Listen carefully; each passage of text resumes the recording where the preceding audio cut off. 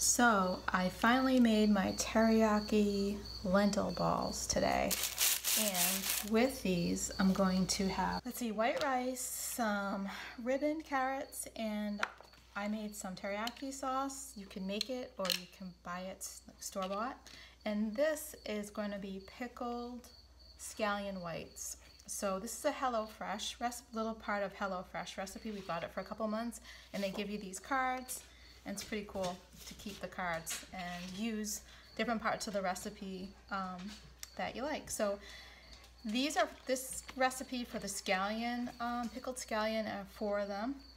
And this is 10 teaspoons of white, let's see, what did it say? White wine vinegar.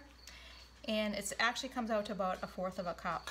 So kind of gave these a rinse. I'm going to take off the ends and so this is just the scallion whites. So I'm gonna take these and this is what I'm going to pickle, the white part of the scallion. So my knife skills need improvement, I know.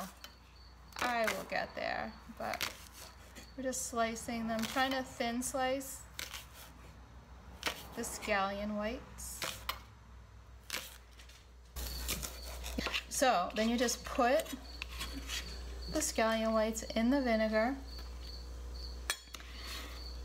And then you just add some salt, depending on how you like, um, how much salt you like. Give it a stir and set aside. So it says to stir occasionally while it's marinating.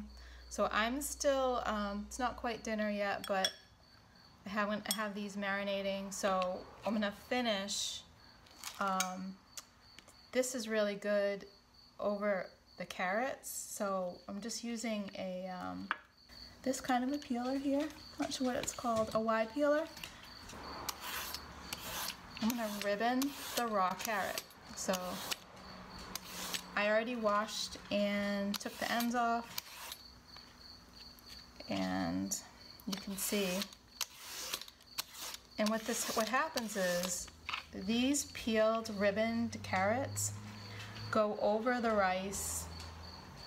You put the um, pickled scallions over and some teriyaki sauce on the rice and I'll use and I'll also it'll be with the teriyaki lentil balls and um, yeah it's gonna be a nice nice flavor combination so here's your raw veggies raw veggies and then the lentils will be that's I use these for the lentils.